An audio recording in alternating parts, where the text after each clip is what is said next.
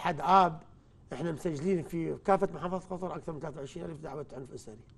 23 ألف. دعوة عنف أسري. فقط في بغداد لا لا لا محافظات العراق كل كل مع ككل. الشمال لا باستثناء إقليم كردستان. باستثناء الإقليم. آه لدينا أكثر من 10 6700 حالة صلح وتراضي. هم كافة محافظات القطر.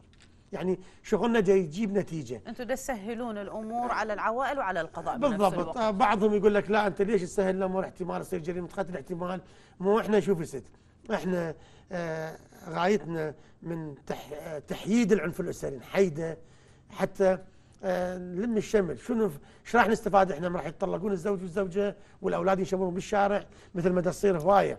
الزوجة على عناد الزوج ما تستلمهم. والزوج كذلك على عنادها ما راح شفنا بها مواد فيديوية أيضا. وبالتالي. وبالتالي بالشارع يستغلون من قبل مافيات التسول ومافيات الجريمه المنظمة. نحاول جهد إمكاننا ولكن وحدنا ما نقدر. والجانب العشائري. وحدنا ما نقدر. الجانب الح- الجانب العشائري مفروض الجانب الإعلامي الجانب لا المجتمعي أقصد الجانب العشائري يتدخل بعملكم أيضا. هناك دور عشائري. آه، اذا اذا إذا فعلا آه، بعضهم يجون آه، يحاولون يحل- يحلحلون الموضوع يعني. يعني يحاولون جانب الأسرة.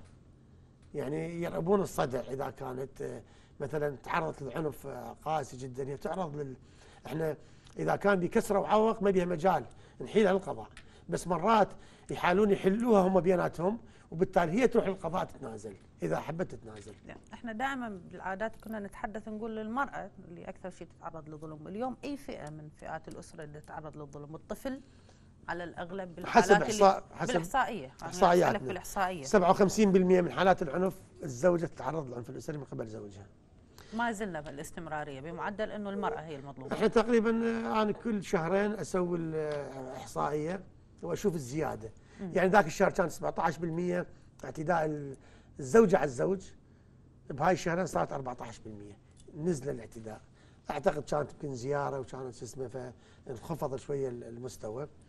14% صار كانت 17% صارت 14 مثلا اعتداء ما بين الأخوة والخوات هو 6% اعتداء الآباء على الأبناء 4% اعتداء الأبناء على الآباء 10% شلون شلون؟